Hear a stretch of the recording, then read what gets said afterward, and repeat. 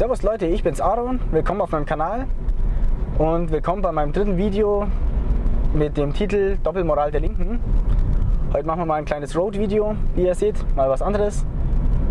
Und ja, das Problem an der ganzen politischen Lage in Deutschland ist meiner Meinung nach, dass es einfach so ein Teufelskreis ist. Also praktisch nach 70 Jahren Umerziehung, nach 70 Jahren Gehirnwäsche ist es einfach so, entweder du bist links, du bist gut, Refugees welcome und so weiter und so fort was ihr alle wisst, oder man ist ein Nazi. Und ich meine, Nazi ist einfach so, ein, so eine Bezeichnung, wenn du die ähm, auferlegt bekommst, wenn du diesen Nazi-Stempel hast, dann bist du einfach schlecht, dann bist du unten durch. Und da ist zum Beispiel wieder das, was ich immer als Doppelmoral empfinde.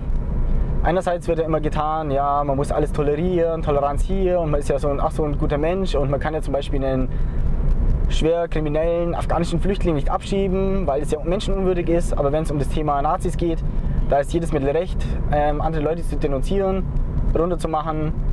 Als Beispiel die AfD-Politikerin, die als Nazi-Schlampe bezeichnet wurde. Also da geht alles. Da ist auf einmal mit der Toleranz nicht so weit. Ja, das habe ich ja in meinem ersten Video ähm, schon erwähnt. Das erinnert mich immer ein bisschen so ans Mittelalter oder eben auch ans Dritte Reich teilweise, wo man einfach, ja, wie ich sage, wenn man anderer Meinung ist und man eben einfach diesen Stempel hat. Im Mittelalter war es Hexe, im Dritten Reich war es Jude und jetzt ist es einfach Nazi. Da bist du mehr oder weniger vogelfrei. Was natürlich viele Leute dann eben dazu bringt, einfach die Fresse zu halten, vielleicht sich eben zu denken, irgendwas stimmt hier nicht, aber letzten Endes eben einfach, ja, man muss halt aufpassen. Keine Jobkosten, soziale Ächtung nach sich ziehen und so weiter und so fort. Also ist es ja eigentlich mit der linken Toleranz nicht so wirklich weit. Und ich meine, ich will das Video halt jetzt relativ kurz halten, weil das Thema eben relativ komplex ist. Wenn ich jetzt jedes, auf jedes Argument jetzt eingehen würde, was in dieser linken, in dieser linken Denkweise falsch ist, würde das Video wahrscheinlich zwei Stunden dauern. Deshalb habe ich jetzt einfach mal ein paar ähm, Stichpunkte rausgeschrieben, die ich halt jetzt ähm, mal erläutere, um mal zu zeigen, wie ähm, falsch das eigentlich das Ganze ist. Das Problem bei der linken Denkweise ist immer, links ist immer gut und die ähm, Argumente klingen ja eigentlich auch immer recht logisch. Zum Beispiel wird man, wenn man äh, mit Linken diskutiert, immer wieder das Argument bekommen, wenn man jetzt zum Beispiel sagt, ähm, ja, dass wir Deutschen eben zum Beispiel aussterben, dass, ähm, also dass, ähm, oder man sagt, man sieht jetzt zum Beispiel jemanden, der einen deutschen Pass hat, aber ein Ausländer ist, nicht als Deutsch an. Ist man sofort ein richtiger Nazi. Ja. Das ist absoluter Rassismus von den Linken aus gesehen. Ja, man kann das ja nicht sagen, man kann ja nicht, ähm, jeder, der in Deutschland geboren ist und einen deutschen Pass hat, ist ein Deutscher. Wie gesagt, das ist Rassismus. Und jetzt will ich mal darauf eingehen, dass komischerweise diese Linken ja diesen ja Rassismus selber betreiben. Bloß, dass es in denen in ihren Augen wiederum, also wenn sie das selber betreiben, seltsamerweise gut ist. Da fällt mir jetzt als Beispiel Bushido ein, der Rapper, hat einen Integrationspreis bekommen. Ich meine, man kann jetzt von dem Herrn halten, was man will. Also die Frage stellt sich mir eh, warum der einen Integrationspreis bekommt, aber das ist ein anderes Thema. Sachlage ist, er ist ja Deutscher. Seine Mutter ist Deutsche, sein Vater ist ähm, Tunesier. Er ist bei seiner deutschen Mutter aufgewachsen, kann nur Deutsch. Ähm, sein Vater hat ja die Familie damals verlassen. Es gibt ja auch ein Lied von ihm, Reich mir nicht deine Hand heißt es, wo er ja seinen Vater praktisch anklagt, dass er damals nicht da war. Also dieser Bushido ist praktisch komplett deutsch aufgewachsen, in Deutschland geboren kriegt aber einen Integrationspreis.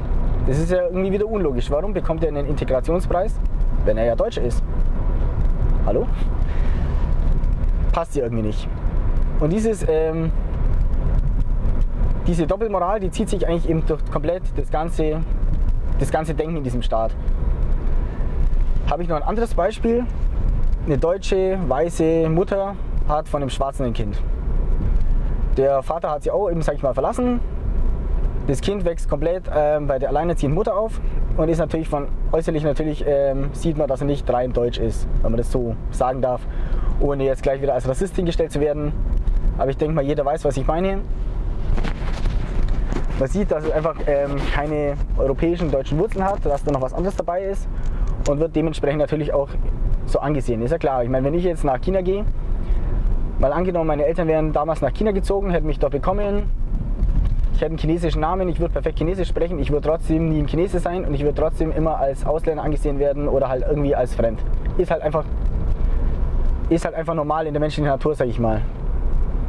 Und da gibt es eben auch solche eben deutschen Mütter, zum Beispiel mit einem schwarzen Kind, die dann sagen, oh, mein Kind wird ähm, rassistisch behandelt, es wird gefragt, wo es herkommt, wo die Wurzeln liegen, wo es ja deutsch ist, es ist genauso deutsch wie alle anderen Kinder und so weiter und so fort. Also da wird immer auf diese Rassismus-Schiene aufgesprungen.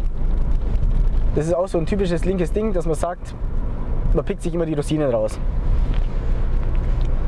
Also da kann man sich ein bisschen wichtig machen, eben äh, die ganz, auf die Gesellschaft natürlich wieder schimpfen, was komischerweise kein Rassismus ist, dass man eben ständig ja den Deutschen Rassismus unterstellt. Ich meine, klar, wenn jetzt, was ich, deutsche Omi, dann die Mutter fragt, ja, wo kommt das Kind her? Das ist ja ein süßes, ähm, schwarzes Kind, ja, wo sind die Wurzeln? Sagt, wird die Oma als äh, Nazi-Oma mehr oder weniger abgestempelt. Und ja, das Lustige ist, wiederum, äh, die Mutter dann, die ja das schwarze Kind praktisch sagt, das Kind ist genauso deutsch wie alle anderen Kinder, habe ich auch schon oft gehört sowas, schickt dann ihr Kind zum Beispiel an irgendeine, später an irgendeine Schule, Sprachschule, wo es dann die Muttersprache lernt. Ja, also sagen wir mal, der Vater ist, kommt aus Ghana und dann soll es diese Sprache des Landes nur lernen, um seine Wurzeln kennenzulernen. Also, wie gesagt, wird wahrscheinlich jeder kennt solche Fälle. Entweder ist das Kind jetzt deutsch oder es ist nicht deutsch. Und ich meine, ich kann ja nicht einerseits Leute verurteilen, die jetzt praktisch irgendwie darauf hinweisen, dass das Kind ja noch andere Wurzeln hat und die als Rassisten beschimpfen, aber andererseits dann wiederum ähm, voller Stolz erzählen, dass mein Mischlingskind ja unbedingt die Wurzeln seines Vaters kennenlernen soll und so weiter und so fort. Also es ist immer so eine Doppelmoral eben.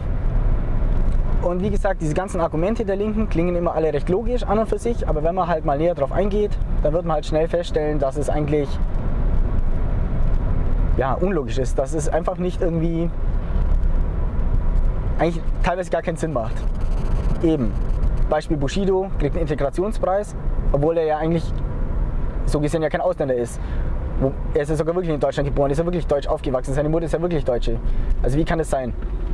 Oder eben die Mutter sagt, ja, mein Kind ist genauso deutsch wie alle anderen, das Mischlingskind. Andererseits ähm, erzählt es voller Stolz von der, dass das Kind die Wurzeln kennenlernen soll. Was zum Beispiel auch wieder so eine Doppelmoral ist, wenn ich jetzt als Deutscher mit einer deutschen Frau ein Kind habe und ich sage, ja, ich will, dass mein Kind seine Wurzeln kennenlernt, seine Vergangenheit kennenlernt und ich rede jetzt nicht von zwölf Jahren ähm, Nazi-Herrschaft, die germanischen Wurzeln kennenlernt, zack, wäre ich ein absoluter Vollrassist, ein absoluter Nazi. Sowas darf man eigentlich nicht mal denken. Und eben mit diesem Stempel als Rassist oder als Nazi, inwiefern auch immer das definiert wird, weil das ist ja auch immer so ein schwammiger Begriff, werde ich im Prinzip sofort von der Gesellschaft ausgestoßen weiß jeder, dass es so ist, so wie ich sage. Auch jeder Linke. Und ich sage halt immer so, es heißt im Grundgesetz, jeder Mensch ist gleich, aber dann sollte auch jeder Mensch gleich behandelt werden. Und ich meine, entweder es gibt keine Rassen, es gibt keine Nationen und man darf nicht stolz auf seine Herkunft sein, dann muss es aber für jeden gelten und nicht bloß für bestimmte Leute. Und ich sehe halt immer, dass es in Deutschland, was eben total lächerlich ist, jeder, der sich offen dazu bekennt, eben deutsch zu sein, stolz darauf, auf seine Herkunft zu sein, diskriminiert wird, während es bei Ausländern zum Beispiel nicht der Fall ist. Zum Beispiel jeder Türke kann stolz sagen, ich bin Türke, ich bin stolz drauf, wird sogar noch gefeiert, weil ja die Leute ihre Wurzeln kennen sollen. Also alles immer so eine Doppelmoral. Genau.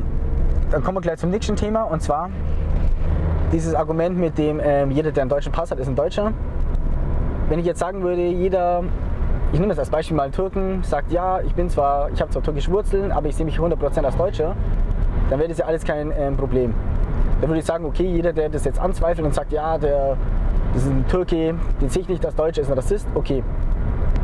Aber das Witzige ist ja, ich, ich habe so viele Ausländische getroffen, Türken, die perfekt Deutsch sprechen, die mit, was ich, mit bayerischem Dialekt reden, die hier total integriert sind, die sich aber trotzdem als Türken sehen. Die ihre Wurzeln nicht vergessen, die ja sogar selber sagen, ähm, dass der deutsche Pass ein Stück Papier ist und nicht mehr und nicht weniger. Und letzten Endes klar, so wie am Beispiel mit China, wenn ich jetzt in China leben würde, ich die chinesische Staatsbürgerschaft habe, ich kann noch so in die chinesische Kultur leben, ich kann perfekt Chinesisch sprechen, ich kann mich besser in der Kultur, der chinesischen Kultur auskennen als ein Chinese, ich werde trotzdem immer ein Ausländer bleiben. Das Ganze ist einfach so, das deutsche Volk oder die deutsche Nation ist einfach über Jahrhunderte, Jahrtausende gewachsen. Und es geht halt einfach nicht, dass jetzt einfach ein Volk, ein anderes Volk praktisch hier reinkommt, wie jetzt zum Beispiel Türken, die auch eine große Geschichte haben, die eine Vergangenheit haben und jetzt einfach sagen, okay, ich habe jetzt einen deutschen Pass, ich bin jetzt Deutscher. Ist einfach so. Jeder Mensch hat seine Wurzeln und auch die Frage, weil ja viele Linke sagen, als was ähm, wird denn Deutsch definiert? Ich meine, Deutsch wird meiner Meinung nach zum einen natürlich nach Herkunft definiert. Ich meine, ich bin Deutscher, meine Eltern sind Deutsche, meine Vorfahren sind Deutsche. Wenn ich jetzt Ahnforschung betreiben würde, kann auch sein, dass da vor 200, 300 Jahren irgendwas anderes dabei war, klar. Aber trotzdem, ich bin einfach Deutscher. So wie ein Türke einfach Türke ist. Und ich meine, ich weiß nicht, was das Problem dabei ist. Ein Inder wird sich immer als Inder sehen. Und da kommt auch kein, keiner her und sagt, ja, wieso, ähm, wie definiert man denn jetzt Inder sein?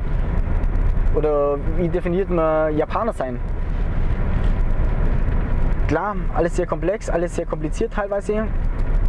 Auch jetzt durch die, ganzen, durch die ganze Masseneinwanderung, eben Ausländer, die seit in der vierten Generation hier leben und so weiter und so fort. Darum sage ich auch zum Beispiel, jeder, der ein Ausländer ist oder halt Migrationshintergrund hat, aber sich als Deutscher sieht und zu diesem Land steht, würde ich auch oder akzeptiere ich auch als Deutschen.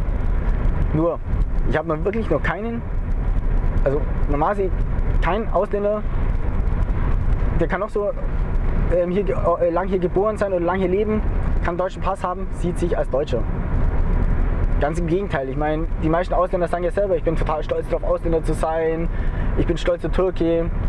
Es gibt ja teilweise Ausländer, die würden es ja sogar als Beleidigung sehen, wenn man sie als Deutsche sieht. Zum Beispiel, keine Ahnung, habe ich auch schon gehabt. Du triffst jemanden, der sieht halt europäisch aus, ja. Fragst ja, ob er zum Beispiel ein Deutscher ist. Nein, ich bin kein Deutscher, ich bin halber Pole oder ich bin Pole. Wo halt ist ja wirklich so.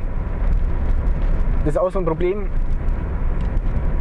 eben durch diese ganze Gehirnwäsche, dass es im Prinzip ja mehr oder weniger schon, dass man sich ja schämen muss, praktisch Deutscher zu sein. Weil einem ja von immer, von klein auf eingeredet wird, wir sind, äh, wir sind die Bösen, wir sind die Nazis, sei alles, was du willst, sei, sei ein Türke, sei ein Pole, sei ein Chinese, was auch immer, aber sei bloß kein Deutscher, weil Deutscher ist Nazi. Ja. Jetzt will ich das Video nicht so ewig lang rausziehen. Falls Interesse besteht, falls euch das Video gefallen hat, würde ich auch gerne noch weitere Videos zu dem Thema drehen, ähm, noch andere Aspekte beleuchten, auch was diese Doppelmoral betrifft oder halt andere eben Aspekte der ganzen Thematik. Wie gesagt, wenn ich jetzt eben auf alles eingehe, das Video würde wahrscheinlich mehrere Tage dauern.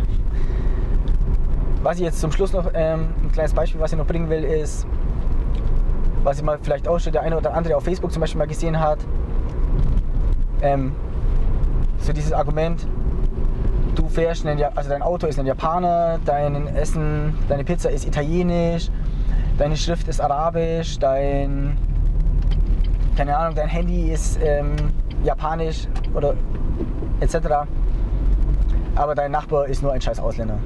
Das ist ja immer so ein Argument, zum Beispiel, was von linken kommt, so ein Bild, so nach dem Motto, du als Deutscher, du hast so viele ausländische Sachen, aber beschwerst dich über Ausländer.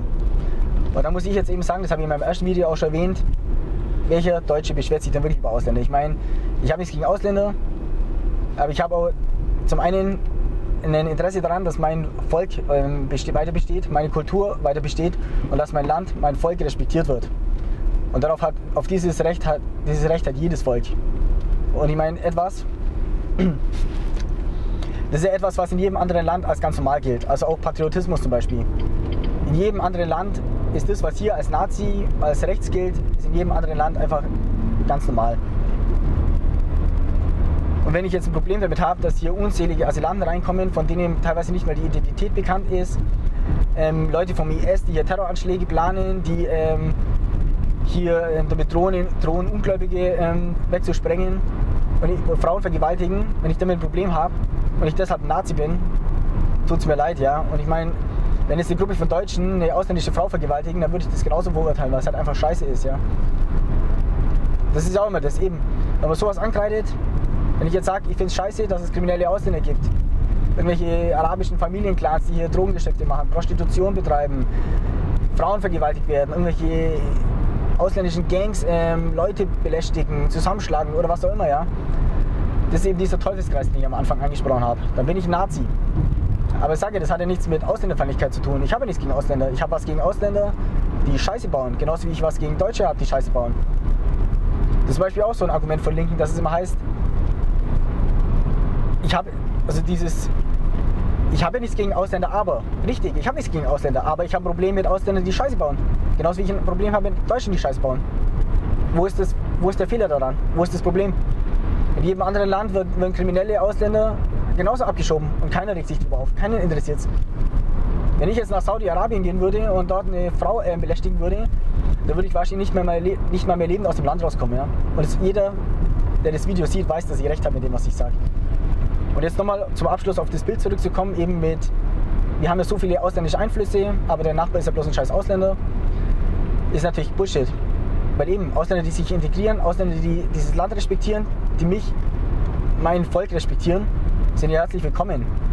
Ich habe ein Problem mit Ausländern, die hierher kommen, hier Kohle kassieren, sich hier absolut keinerlei integrieren, die hier seit 20 Jahren leben, von Sto deutschen Steuergeldern leben, die übrigens auch Ausländer, die hier integriert sind und arbeiten, zahlen, hier auf Deutschland schimpfen, ja, auf Deutsche schimpfen, aber nicht auf die Reihe bringen, ähm, nach 20 Jahren Deutsch zu können und sich dann beschweren, dass wir alle Nazis sind, ja, auf solche Leute, muss ich ganz ehrlich sagen, kann ich einfach scheißen, ja.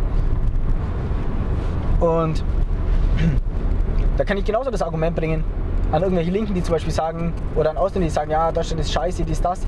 Kann ich auch sagen, hey, du fährst einen BMW, du fährst ein deutsches Auto, du lebst von deutschem Geld, du lebst in Deutschland, aber, der, aber Deutschland ist nur scheiße. An solche Leute, an solche Linken und an solche Ausländer zum Beispiel, muss ich einfach sagen, ganz ehrlich, dann verpisst euch. Keiner vermisst euch hier, keiner braucht euch hier.